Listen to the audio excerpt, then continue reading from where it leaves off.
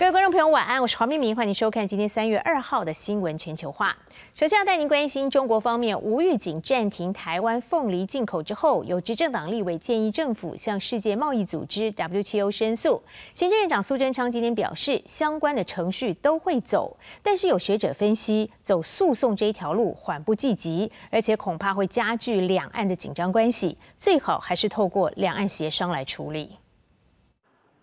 中国片面宣布三月起禁止台湾凤梨进口。苏贞昌上午在立院表示，呼吁国人支持国产水果，国营事业也会加强开发凤梨加工食品。面对两岸贸易争端，台湾是否向 WTO 提告中国？经济部长王美花表示，还要透过经贸谈判代表办公室召集讨论。农委会也在尽力交涉中。有没有需要去 WTO 提告？好，谈判代表办公室会邀集相关的主管机关去讨论啦。现在农委会还在沟通嘛？哈，何时知道？是二十七号的晚上。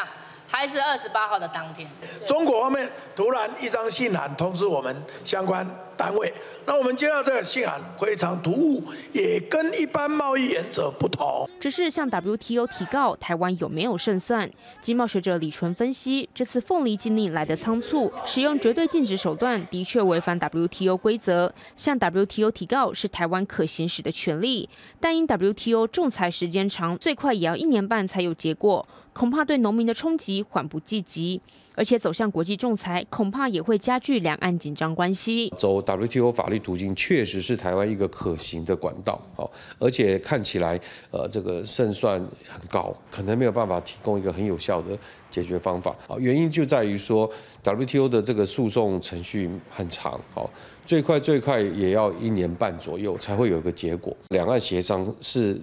现在最重要的一一步了。学者认为，向 WTO 提告应作为最后手段，当务之急先朝向两岸协商机制，增加谈判筹码。此外，台湾农产品外销也应持续拓展新市场。陆委会主委邱泰三指出，两岸对检疫问题有合作协商机制，上周农委会也已透过此机制向对岸提出复议。记者陈顺王的新城商委台北报道。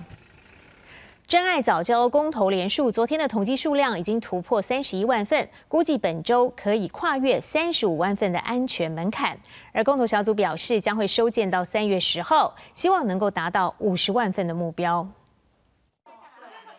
一箱一箱信件成堆，志工拆封和整理的双手完全停不下来。早教公投议题升温，民间的联署数量不断攀升。公投小组在二二八连假之后收到二十四箱挂号信和两箱包裹，让盘点人力吃紧。但现场志工依然很开心。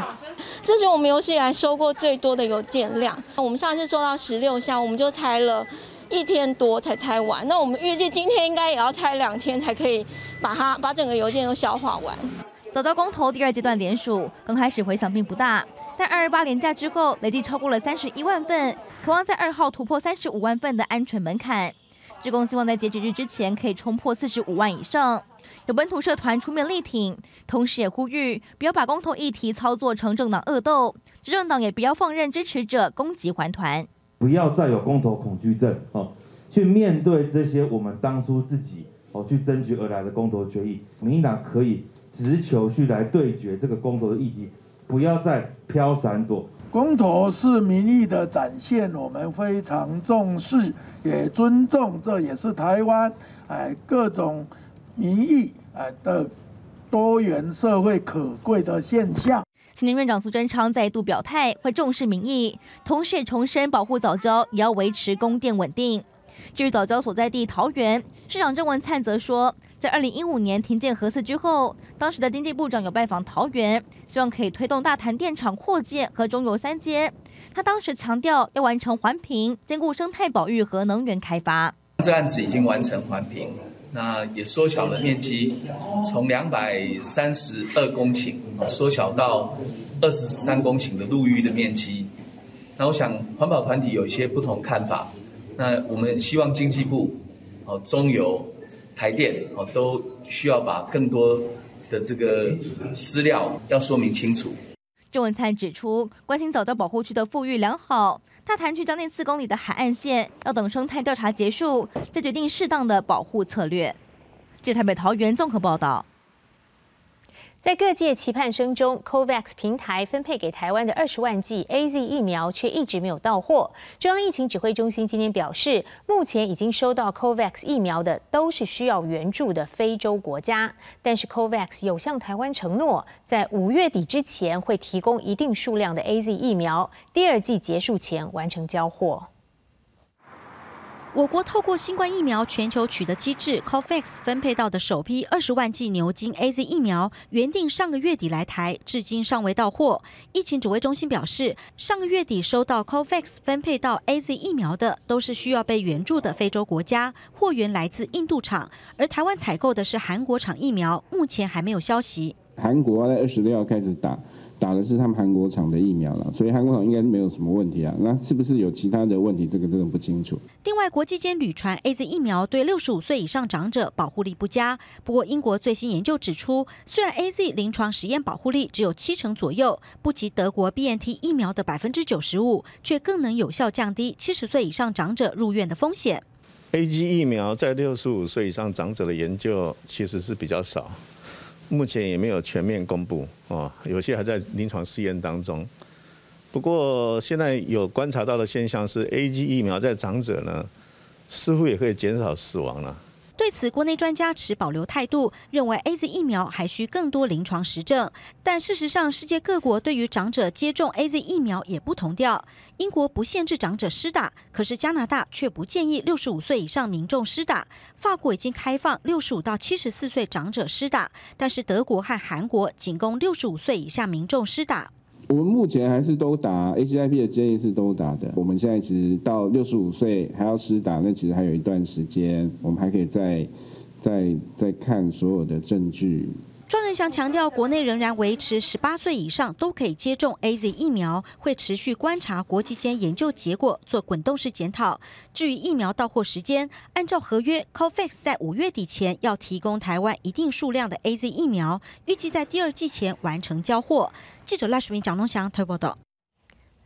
各国严防新冠病毒在入境的时候就会要求做检验，而中国除了一般常见的检验方式之外，还对部分入境者采用独有的肛门拭子检测，让许多外国人难以接受。日本政府已经正式向中国提出要求，希望不要对日本人实施肛筛，以免造成心理上的痛苦。在各国陆续开始施打新冠疫苗同时，各国对于入境检验依旧没有放松。但现在传出有部分前往中国工作的日本人跟美国人，却在入境时被要求以肛门拭子的方式筛检，无法接受的日本民众向日本驻北京大使馆投诉。心理的苦痛が大きい等の意見が寄せられていることを踏まえ、肛門による PCR 検査を法人に対して免除するよう。 大使館から外交部及び北京市関係当局に対し申し出を実施したところであります現時点で検査方法を変更するとの回答は得られておらず、まあ、引き続き働きかけをしていくということであります。日本官方长官加藤信彦表示，目前只有中国会对入境者进行肛门检测。对此，中国外交部发言人汪文斌表示，中国会根据疫情的变化，按照法律跟科学的方式调整防疫措施。对日本的要求，只表示要向相关的主管单位询问。而外媒报道，除了日本，还有美国跟南韩的入境者也被要求肛门裁剪，但中国外交部却否认这种情况。据我所知，我向我们的同事进行了核实，中方从未要求美国驻华外交人员进行肛拭子检测。目前，美国国务院已经为此向中国提出抗议，表示要依照维也纳外交关系公约跟其他国际法规，维护美国外交人员跟家属的尊严。而南韩则是有民众虽然在大使馆的协助下免于肛门筛检，但是却要提供粪便的样本来进行检测。国日新闻陈胜斌译。事实上，全球的新冠肺炎确诊病例在各国陆续开打疫苗之后明显下降。没有想到，上个礼拜的数字又出现回升，是过去七周以来首见。世界卫生组织 WHO 秘书长谭德赛呼吁各国不能够因为打了疫苗就松懈了防备。新冠肺炎全球病例数上周出现回升，是过去七周以来首见，显示疫情有回温迹象。世界卫生组织认为，这跟民众防疫疲乏和变种病毒扩散有关。秘书长谭德赛呼吁各国不要因为接种疫苗就卸下心防。Vaccines will help to save lives, but if countries rely solely on vaccines, they are making a mistake.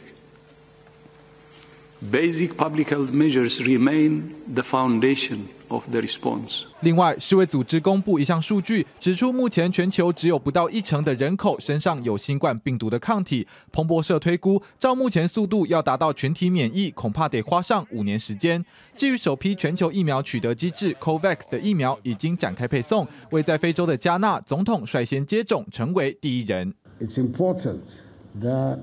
I set the example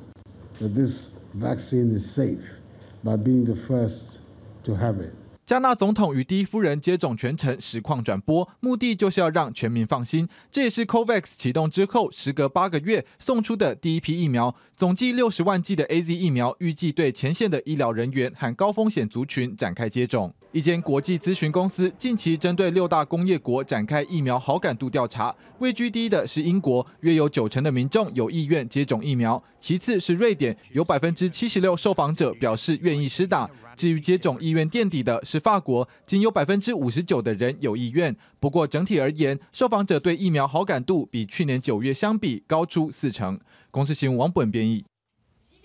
传染病令人心生排斥，但是过度的恐惧也引发许多悲剧。有一艘载着将近九百头牛由西班牙开往土耳其的牲口船，因为健康文件出了问题，被认为有蓝蛇病的疑虑，结果遭到各方拒收，在海上漂流长达两个多月。而受尽折磨的牛只已经有部分死亡，其他八百多只也因为无法再被运输，全部都要被安乐死。流浪地中海两个多月的牲口船“卡林阿拉号”二月二十六号终于回到出发地西班牙卡塔赫纳港。西班牙兽医却建议将船上幸存的八百六十四头牛直接人道毁灭，因为他们饱受长期运送之苦，有些已经生病，不适合再出口到欧盟以外，也不该留在欧盟。最好的处理方式就是安乐死。港边一整排大货柜陆续被送上船只，为大扑杀做准备。卡林阿拉号去年十二月出发，原定前往土耳其，但土国认为相关健康文件不符合蓝蛇病防治准则，而拒绝入境，让船上的牲口变成了烫手山芋。蓝蛇病是一种昆虫传播的病毒造成，会让牛羊等反刍类动物跛脚或出血，不会传给人类。其他国家也担心疫情，不但没有买主愿意接手，有的甚至拒绝卡林阿拉号靠岸补给，导致牛只缺乏粮草，只能喝水。两个多月待在拥挤的兽栏里无法走动，已经有二三十只中途死亡，被切碎丢进了大海。动保人士痛批船上处境有如地狱，而西班牙兽医的报告中却连他们到底是否罹患蓝蛇病都没有说明。船方的律师则表示，牛只多数是得到皮肤病、关节炎等可以治疗恢复的毛病。Si me meten setenta días en un barco, lo que necesito es que bajar del barco, comer un poco bien, descansar, no, recuperarme, pero no. Eh, no, no, no, no, los vamos a matar. 八百多个活生生的性命遭受浩劫，让人痛心疾首。动保团体与部分欧洲议会成员几乎禁止活牲畜出口，或制定更符合人道的运输规范，不能让这样野蛮无道的惨剧再次发生。公日新闻，石慧中编译。我们曾经报道，亚美尼亚去年在双亚大战当中落败，把争议土地交给了亚塞拜然。之后，国内政局便陷入动荡。而总理在上个礼拜指控军方企图发动政变，先出手把总参谋长革职，结果让反对他的群众忍无可忍，走上街头抗议。但是总理不甘示弱，也号召自己的支持者站出来，两派人马互别苗头。亚美尼亚首都耶尔凡的共和广场上万头钻动，到了晚间，人人拿出手机，现场星光闪烁，照亮夜空，场面十分壮观。稍早，这些群众是在总理帕西扬的号召下走上街头，人数估计有两万人。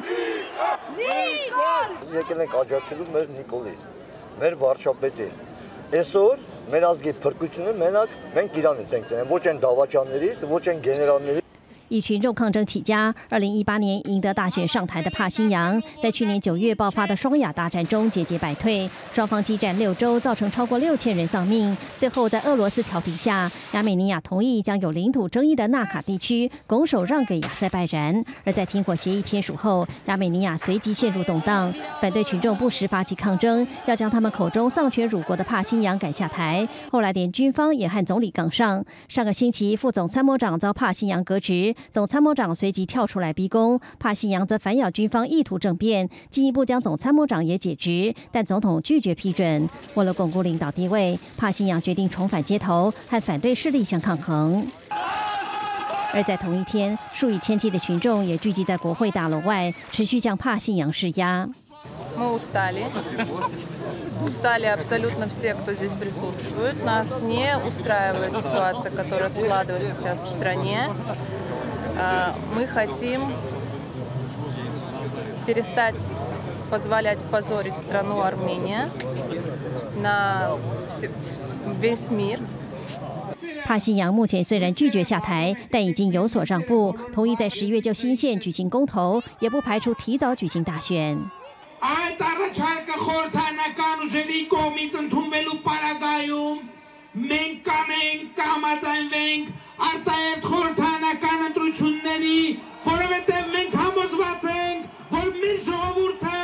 նույն կերպ իր ազատ կամ արտահատմամբ ի վիճակի Հայաստանում հաստատել օրինական իշխանություն։ 眼看亚美尼亚情势升高，国际间纷纷呼吁各方克制。美国也警告亚美尼亚军方不要干预政治。公视新闻曾慧敏编译。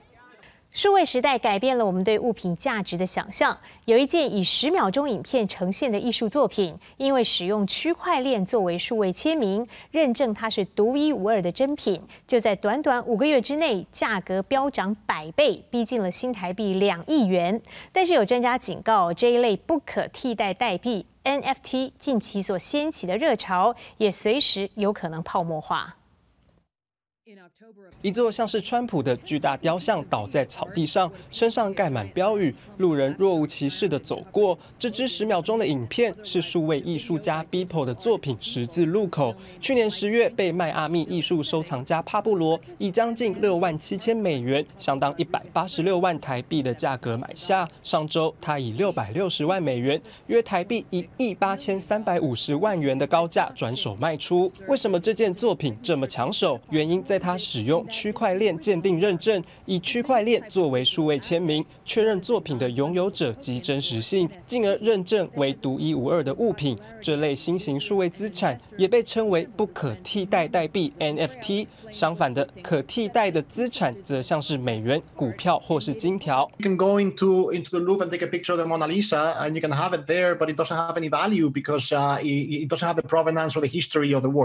除了艺术作品，NFT 的应用还包括球卡和虚拟土地等。NBA 也推出区块链收藏平台 NBA Top Shot，让球迷可以收藏球星在生涯中的精彩时刻。平台推出五个月就吸引超过十万买家，总销售额逼近二点五亿美元。艺术品拍卖公司佳士得也搭上热潮，首度拍卖一件只以 NFT 形式存在的数位艺术品，由五千张照片拼贴而成的作品。目前。已经喊价高达三百万美元。不过，投资人也警告，大批热钱投入 NFT 市场，代表可能出现价格泡沫。一旦炒作消退，就有可能面临重大损失。公视新闻林孝如编译。在现在热钱到处流窜的世界，同样也必须提高警觉的是比特币。面对比特币价位飙破了五万美金，央行再度警告投资人，比特币的持有者高度集中，价格容易受到人为炒作，属于高风险的虚拟商品，投入时务必小心谨慎。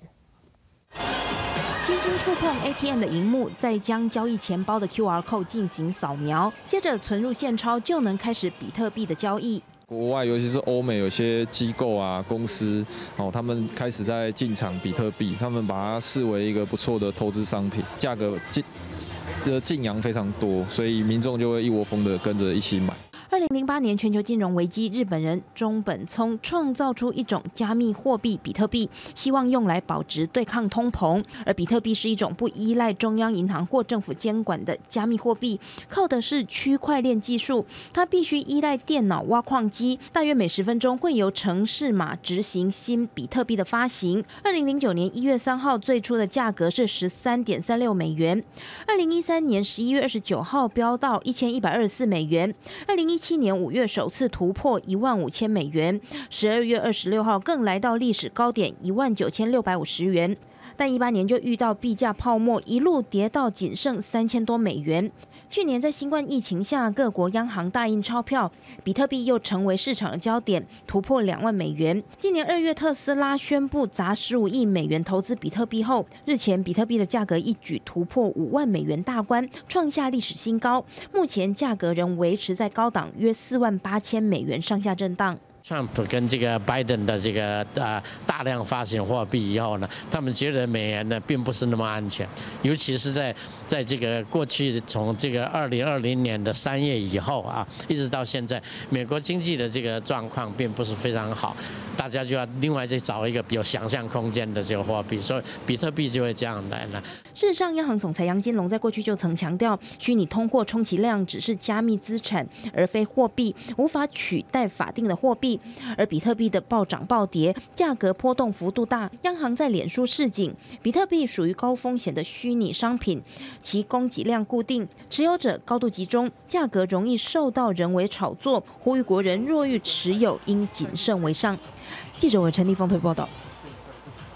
台湾外交的正面消息是，美国两位共和党众议员蒂芬尼和培利上周提出决议案，呼吁美国政府终结过时的一中政策，改承认台湾是独立的国家，并且恢复正式邦交。而事实上呢，蒂芬尼在去年九月就曾经提出过类似的案子，但是呢，并没有排入议程。而这一次，如果决议案如果能够在这个国会两院通过的话，也将不会递交给美国总统签署，所以并不具有法律。效力，但是他代表美国国会的立场。那个这个电话是没有打，但是委员刚刚在讲的是看到美国的行政部门以及国会部门对台湾的不断的这个支持。面对立委追问美国总统拜登有没有比照前总统川普上任后和总统蔡英文通过电话，外交部长吴钊燮坦言没有，但美国国会部门跟行政部门对台湾支持的程度不一。行政部门不断跟我方强调，美国对台支持坚若磐石，态度没有改变过。值的贸易代表署相关 FTA 的谈判，这样的进程有没有可能在你讲的行政部门坚若磐石的友情之下，给我们开展第一个启动？啊，这是我们在努力之中的事情，但是新的贸易谈判代表还没有真正上任。美国国会共和党众议员蒂芬尼和培利二十六号则提出决议案，要求美方终结过时的一中政策，承认台湾为独立国家，非中华人民共和国领土的一部分。决议案也要求美方支持台湾国际参与，并启动美台洽签自由贸易协定。外交部表达诚挚感谢。另外，不止美国，欧洲也有一股强大的友台力量。Will exchange information,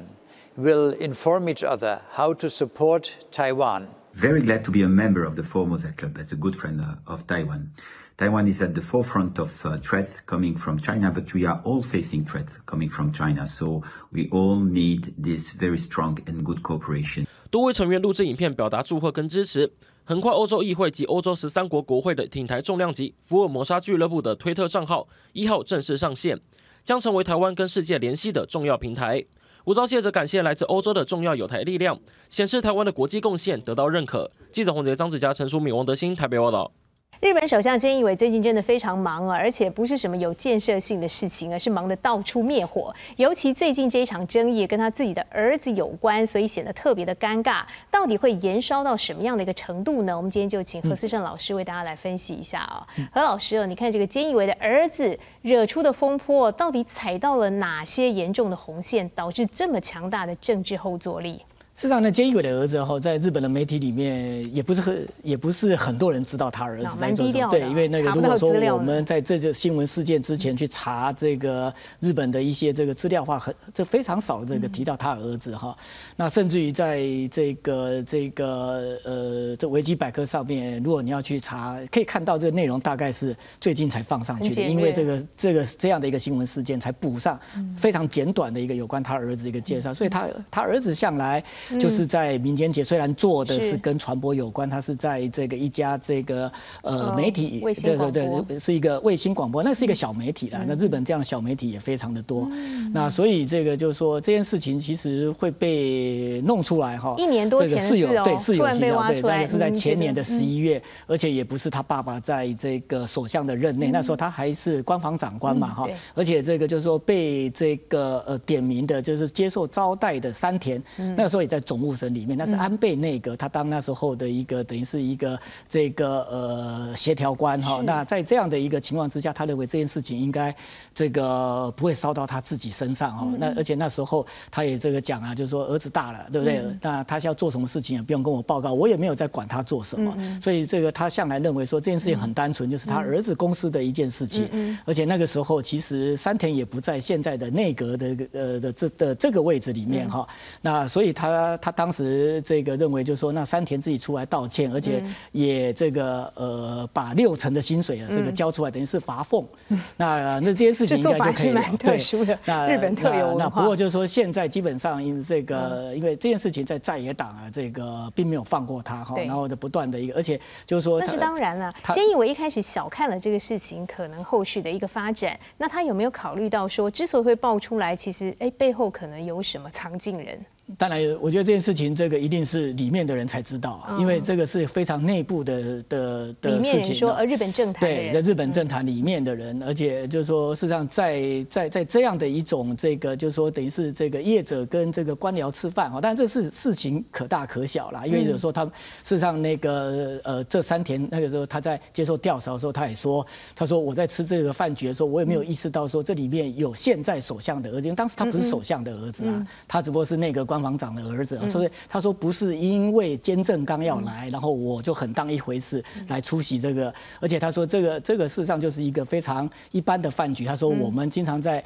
在在我们的业务里面，我们要跟业者之间有一些这个等于是有一些沟通嘛。他说这当时我们也没有讲什么特别重要的事情。嗯，他是做这样的一个，换言之，他这里面他第一个要把这样的一个这个参会的敏感性把它降低，而且就是这有一点也是画了一个防火巷。你的意思说在日本的话。就是商界人士跟政界人士，呃，请客吃饭是很常见的一个事情。嗯，但是作为一个公务员，也就是政府官员，让对方付钱，这样是不是可能有一个疑似贿赂这样子？当然有啊，对啊，但当然这个从法律上来看，这个当然是有问题。而且他吃的很好啊，这他吃的那一顿饭好像这个折合台币将近一万八千他他自己一个人就吃了一万八千，就是一个人，而且他吃的是和牛加上高级海鲜，就是很高级的海陆大餐哈。所以给民众观感非常之不好。当然，那个一般的日本的老百姓不会吃那么高档的，像这个可能。我们台湾的观众会认为说，日本的东西本来就很贵，餐厅很贵啊，对不对？那一万八千多块，或许在日本是一般也没高贵到这个没有太高贵。错，这个实际上我们在日本的话，大概一万出头日币就可以吃的非常非常好，像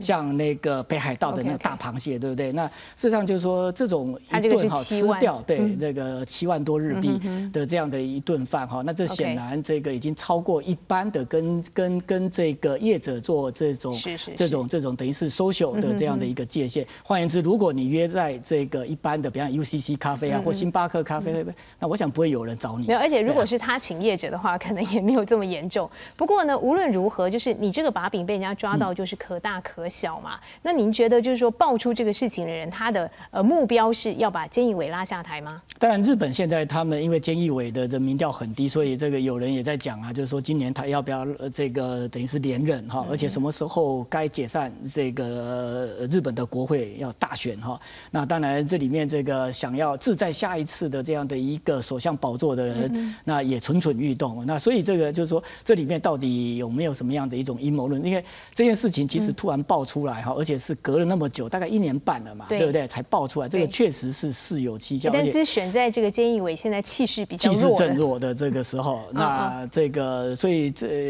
呃，而且这于说现在这也是自民党要决定，就是说要不要这个弃居保帅，因为你的民调大概就是在危险水域。那如果如果这件事情你又处理不好的话，那很显然这可能可以变成是压把把你压垮的最后一根稻草。OK OK，好，这个菅义伟除了这件事情之外，他明天其实可能还会面对一个这个外交的事件，就是南韩总统文在寅向他递出了橄榄枝了。我们知道日韩两国这几年的关系真的是非常的紧绷，但是这个文在寅啊，他昨天说这个东京奥运可以成为北韩跟美日还有南韩对话，就是个四方对话的一个契机哦。那这个南韩媒体就分析说，这是他上任四年多以来哦，首度释放出这么强烈的和解讯息。你觉得有这么乐观吗？当然，他在昨天的三一节，哈，三一节是南韩的一个很重要的，而且是蛮特别的一个节日，就是在在南韩的这个五个跟他们建国有关的这个纪念日之一。那三一节当然那时候是日并朝鲜之后，然后当时的高宗在这个一月的时候驾崩，但驾崩的话，那这个韩国人始终认为他的死因不寻常，他是被这个日本给害给毒死的。这个历史仇恨非常所以